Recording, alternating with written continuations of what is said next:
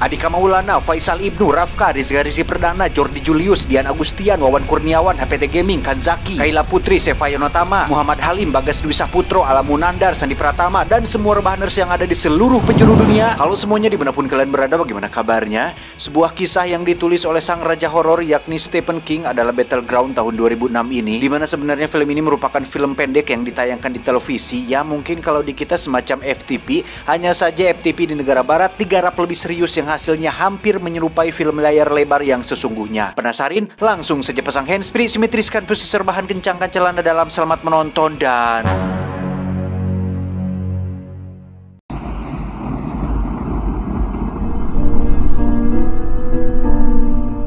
Kisah diawali dengan memperlihatkan seorang pria yang wajahnya sangat nalangsa sekali. Terlihat dia memegang dan memandangi beberapa mainan di atas meja. Salah satunya adalah mainan balerina yang bisa berputar dan mengeluarkan suara musik.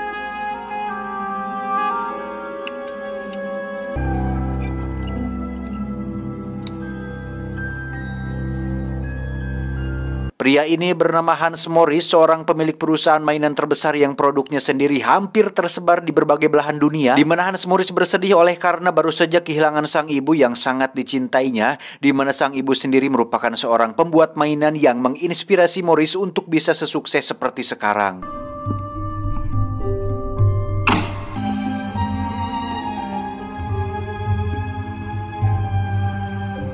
Di saat bersamaan kita akan melihat seorang pria bernama Jason ini bebenguknya yang sedang berkendara dan berhenti tepat di depan gedung perusahaan milik Morris di mana Jason ini merupakan seorang pembunuh bayaran yang dikirim oleh seseorang yang tidak suka dengan kesuksesan yang diraih oleh Morris.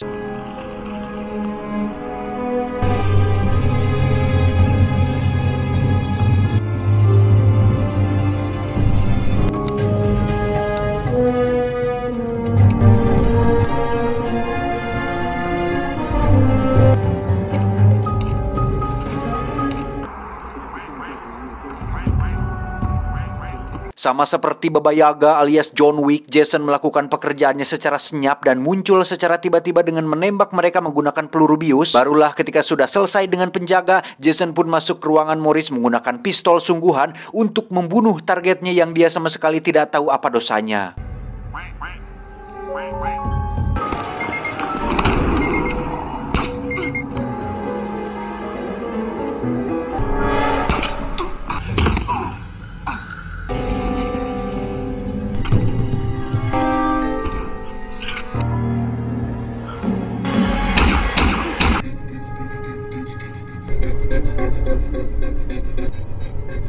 Satu kebiasaan Jason, dia selalu mengambil cindera mata untuk setiap misi yang dilakukannya sebagai simbol bahwa dia selalu sukses dalam menjalankan aksinya dan kali ini Jason mengambil boneka ballerina yang sempat dipandangi dan dipegang oleh Morris tadi. Malam itu juga Jason langsung terbang pulang kembali ke kotanya yang secara kebetulan muncul SMS dari The Continental yang melakukan pembayaran atas pekerjaannya tadi. Saat itulah ada seorang penumpang wanita tepat di sampingnya yang meminta permen karet tanpa si wanita sadar bahwa orang yang diminta diintainya tersebut adalah seorang pembunuh bayaran profesional yang sangat mematikan. Tiba di bandara, berita tentang kematian Hans Morris langsung viral di media yang secara dia adalah miliarder pemilik perusahaan mainan terbesar di dunia dan dari hasil penyelidikan polisi, mereka menemukan bahwa Hans Morris dieksekusi sangat rapi oleh seseorang yang pastinya sangat profesional.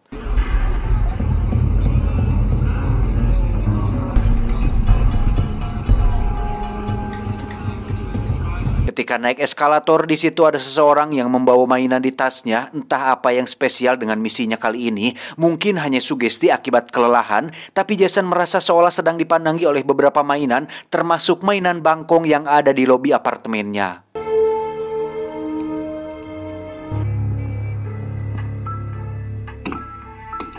Sebagai pembunuh bayaran dengan tarif tinggi, Jason memiliki sebuah apartemen mewah lengkap dengan kolam renang dan pemandangan gedung-gedung tinggi. Juga ada sebuah mainan bebek yang biasa dia mainkan ketika sedang ngojai.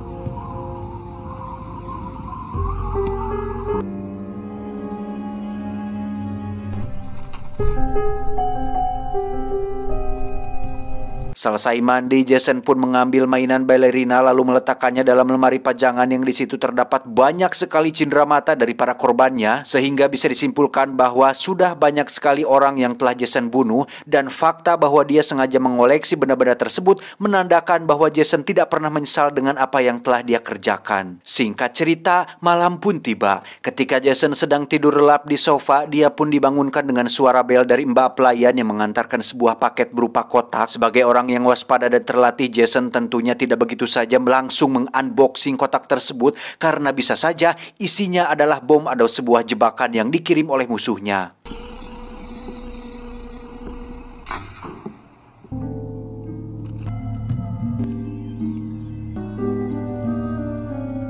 Menggunakan pisau dapur, Jason dengan hati-hati perlahan menyobek satu persatu tali dan lakbannya yang ketika dibuka, isinya adalah sebuah kotak mainan tentara-tentaraan lengkap dengan kendaraan dan berbagai senjata infanteri yang biasa dimainkan oleh anak-anak.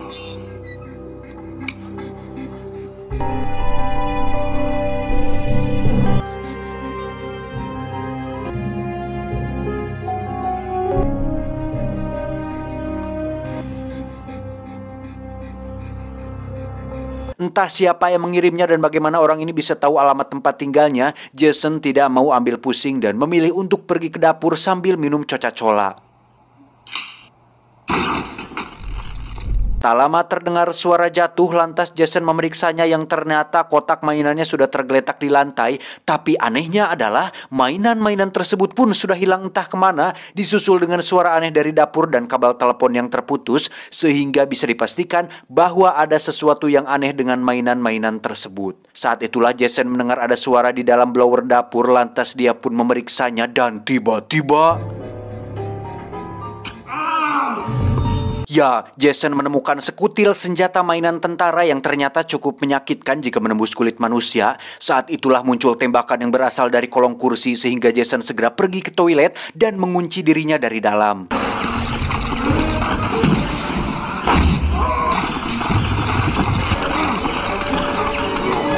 Yang menarik adalah, walaupun sebagian besar peluru yang ditembakkan terbuat dari plastik dan mainan, Jason tetap mengalami luka dan kesakitan, sehingga ukuran tidak bisa menjadi jaminan untuk Jason meremehkan apa yang sedang dihadapinya saat ini.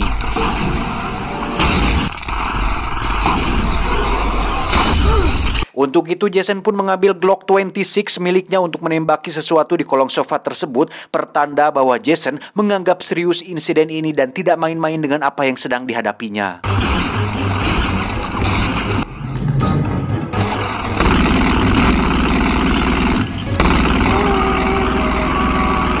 Setelah memborbardir sofa kesayangannya, Jason pun langsung dibuat terkejut saat melihat target yang dia tembaki tadi ternyata adalah mainan tentara-tentaraan yang ada di paket tadi. Mereka semua hidup dan bergerak seolah benar-benar pasukan tentara yang sedang berada di medan perang.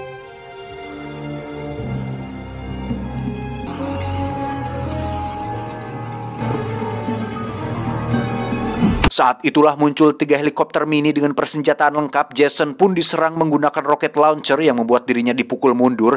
Bahkan sekarang apartemennya hancur berantakan hanya gara-gara mainan tentara yang bisa hidup ini.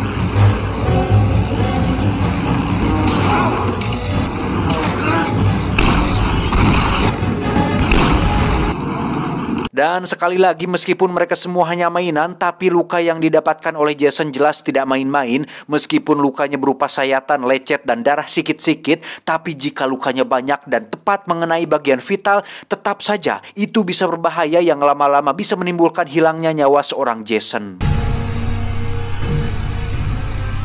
Ketika satu heli masuk, Jason menggunakan selimut untuk menangkapnya, menginjak-injaknya sampai hancur, dan karena masih bisa bergerak, Jason pun memasukkannya ke dalam kloset dan menyiramnya, dan karena masih bisa bertahan, barulah Jason melakukan sesuatu yang berlebihan dan agak sedikit lebay dengan menyetrumnya menggunakan hair dryer yang membuat listrik di apartemennya mengalami korsleting. Padahal kan bisa, tinggal ambil saja, buang atau petahin gitu sekuat-kuatnya mainan, kalaupun bisa hidup tetap secara nalar ukuran kita jauh lebih kuat dan menang, tapi ya kita kembalikan lagi lagi kepada Jason yang mungkin seperti itu cara dia menyelesaikan masalahnya.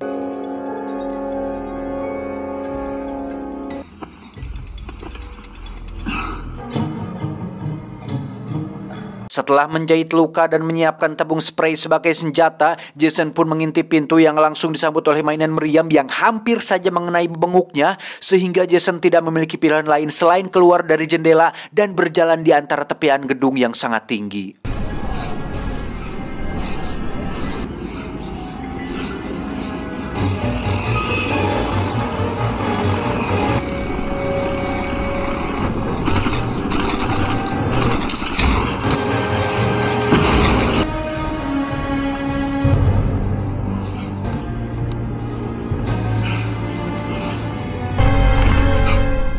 Setelah mengatasi semua pasukan helikopter dan berhasil sampai di sisi lain dari apartemennya, Jason pun melihat bahwa tersisa dua tim lagi, yakni tim bermobil yang bersenjatakan minigun dan satu lagi tim meriam yang menganggap jika Jason masih berada di kamar mandi.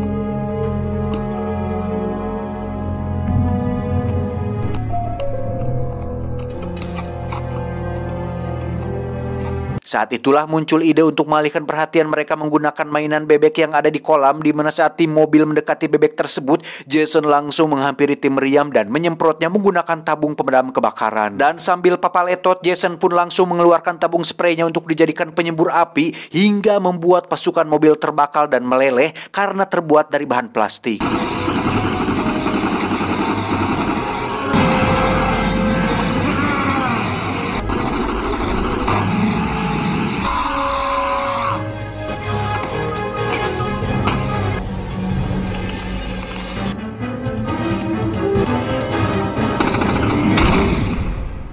Setelah semuanya selesai, Jason pun menghitung satu persatu tentara mainan ini sesuai dengan jumlah yang tertera di dalam box, di mana dia masih bingung dengan bagaimana mainan-mainan ini bisa hidup karena setelah diperiksa tidak ada alat elektronik atau mekanisme mesin kecil yang membuat mainan-mainan ini bisa bergerak sehingga bisa dipastikan bahwa mainan ini memiliki nyawa seperti boneka Chucky yang memang bertujuan untuk membalas kematian majikan mereka yaitu Hans Morris. Sehingga hal ini menjadi prestasi tersendiri bagi Jason yang tidak hanya bisa membunuh manusia sungguhan, tetapi juga mainan yang merupakan manusia mini jadi-jadian. Lelah dengan semua keributan ini, Jason pun berendam di kolam untuk menenangkan pikirannya, tapi tiba-tiba...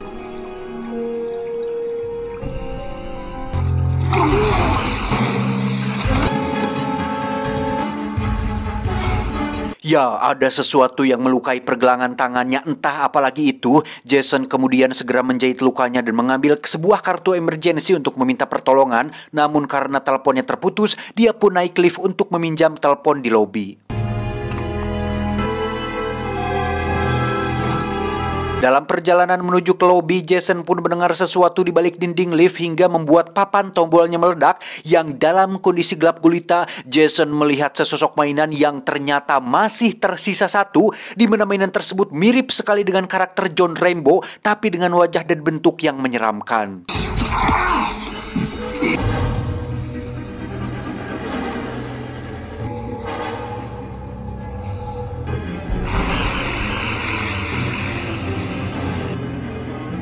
Jason pun memutuskan untuk keluar dan naik ke atas lift di mana di situ sudah ada si Rembo yang menunggunya di atas sambil menunjukkan kegarangan dia dengan melukai tangannya menggunakan pisau seolah dia sudah siap untuk melakukan peperangan. Dengan cepat Jason pun loncat ke lift lain yang kebetulan sedang turun di mana dia tidak sadar jika Rembo diam-diam telah nyumput di balik celah dampal sepatunya ketika sedang rebahan sambil menenangkan diri. Saat itulah si Rembo naik ke atas dadanya dan menikam Jason berkali-kali menggunakan pisau kecil mainannya. Ketika sudah sampai di lobi dan pintu lift sudah terbuka, Jason pun langsung tak sadarkan diri akibat mengalami pendarahan yang cukup banyak. Tapi tiba-tiba... Ya, Jason langsung menangkapnya dan mendorong Rembo ke arah pintu hingga Rembo hancur terjepit pintu lift tersebut. Jason pun mengambil tas milik Rembo yang ternyata di dalamnya terdapat sebuah bom waktu yang ketika pintu sudah tertutup dan tak ada lagi kesempatan untuk selamat, Jason memilih untuk pasrah dan... Faktanya, Jason tidak sadar jika di belakang box tersebut terdapat sebuah peringatan tentang bonus kejutan yaitu mainan Rainbow di mana bom yang dibawanya merupakan bom asli berbahan termonuklir skala kecil sehingga cukup masuk akal jika ledakan yang ditimbulkan cukup besar dan mampu menghancurkan area di sekitarnya dengan dampak yang cukup parah. Film pun diakhiri dengan memperlihatkan mainan balerina yang sedang berputar di mana sebuah kejadian ini merupakan sebuah karma bagi seorang Jason yang melalui arwah ibunya Hans Morris, mainan-mainan buatannya pun bisa hidup seperti boneka Chucky untuk membalas dendam kematian penciptanya yaitu Hans Morris sendiri. Tamat, ending yang cukup mencocokkan. Pesan yang bisa kita ambil dari film ini adalah berharganya sebuah mainan bukan diukur dari mahal atau murahnya harga mainan tersebut, tapi dari bagaimana cara kita memainkannya. Saya John mewakili direksi yang bertugas mengucapkan terima kasih dan sampai jumpa di video selanjutnya. Adios, bubur ayam California. Cuau, cuau, cuau, cuau, cuau, cuau, cuau, cuau, cuau, cuau, cuau, cuau, cuau, cuau, cuau.